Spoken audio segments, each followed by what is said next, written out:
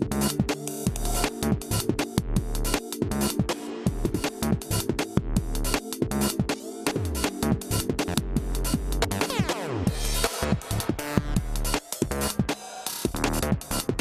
เข้าสู่ช่วง DIY กับ Try It ครับคุณผู้ชมครับ แน่นอนฮะ ทุกๆ สัปดาห์ครับ ผมจะมีของพิเศษนะฮะ หรือว่าเป็นสิ่งประดิษฐ์พิเศษเนี่ยมานำเสนอให้กับคุณผู้ชม และวันนี้เนี่ยไม่พลาดเช่นเคยครับ วันนี้เนี่ยผมมีหนึ่งอย่างครับที่จะมานำเสนอให้กับคุณผู้ชมนะฮะ และเรียกได้ว่าอ่ายุคนี้เนี่ยนะครับถ้าพูดถึงอ่าเรื่องของเทศกาลต่างๆนะครับไม่ว่าวันเกิดนะฮะแต่งงานนะครับขึ้นบ้านใหม่นะฮะสงกรารกระลอยกระทงอะไร คนเราเนี่ยมักจะมอบของขวัญให้กันและกันนะครับ แต่สิ่งหนึ่งเลยนะฮะที่ถือได้ว่าสำคัญพอๆกับหน้าตาของของขวัญนั่นก็คือกล่องห่อของขวัญครับนะเพราะถือได้ว่าเป็น first impression เลยนะฮะเวลาที่เรามอบของขวัญให้กับใครสักคน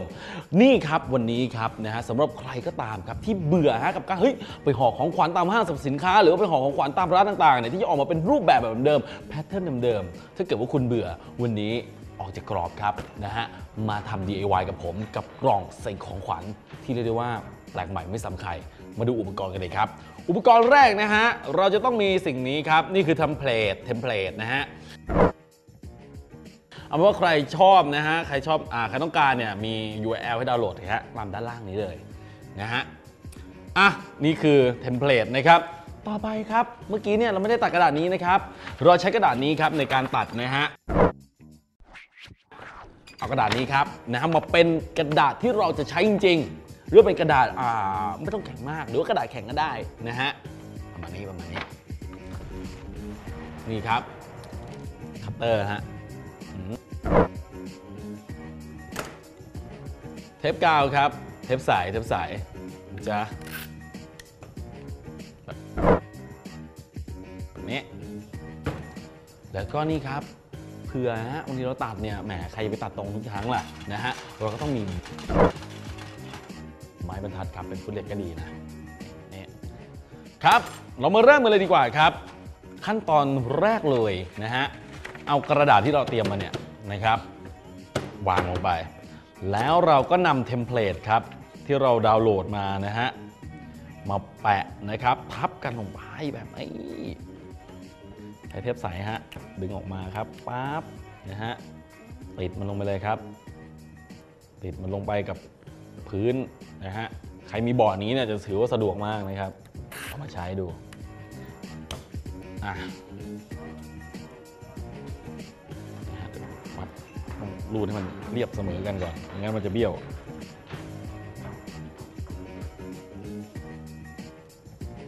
ครับ แปทั่วเลยครับ เอาที่คิดว่าเฮ้ยอยู่อะ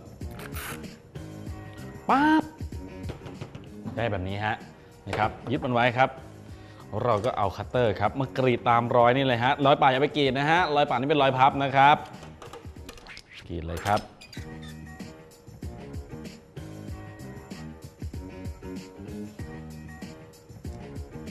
กรีดให้ขาดเด้อนะฮะตัดไปทีละนิดทีละหน่อย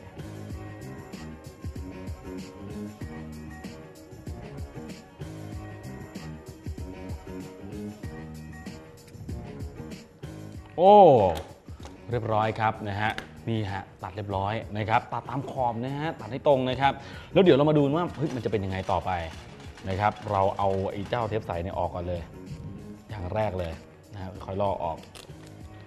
ครับค่อยๆนะฮะเดี๋ยวพลาดไปเนี่ยไอ้ที่ตัดมานี่เสียหายหมาเลย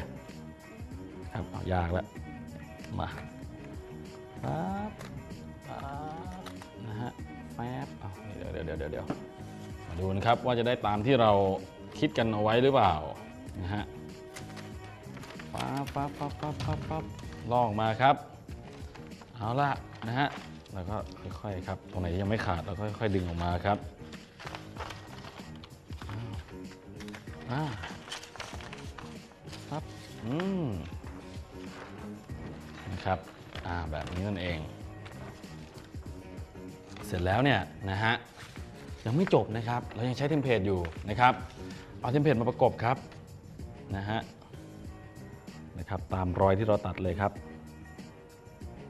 ทึบโอเค เราพับมาเลยครับตามรอยอย่างนี้นะฮะนะครับแล้วก็กระดาษนี้ครับซ้อนกันปั๊บพัพับตามนี้ฮะเอาละเราจะได้หนึ่งรอยแล้ว เราจะได้หนึ่งรอยแล้วนะฮะครับอ่า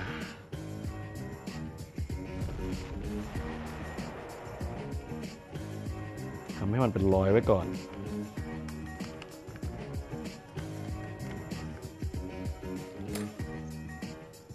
ครับอ่า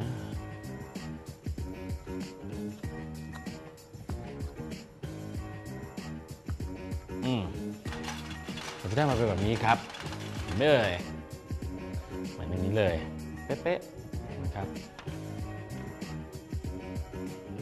เสร็จแล้วเราก็จะมาพับเข้าด้วยกัน เอาละครับจะเป็นแบบนี้นะฮะเดี๋ยวเรานะครับจะต้องใช้นี่ครับกาวกาวนะฮะ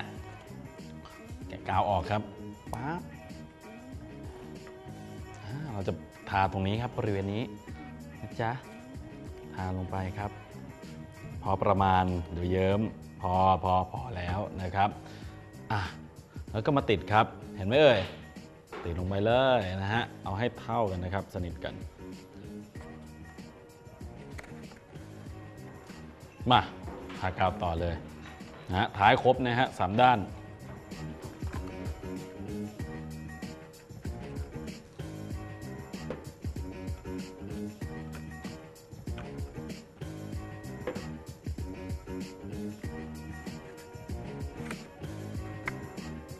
ทากาวครับปั๊บปั๊บ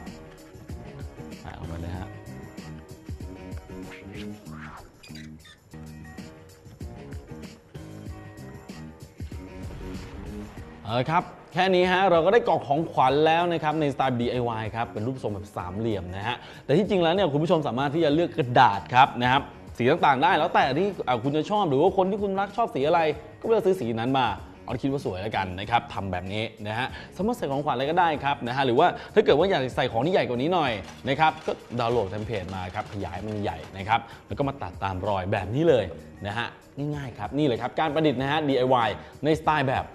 ใครอีกครับ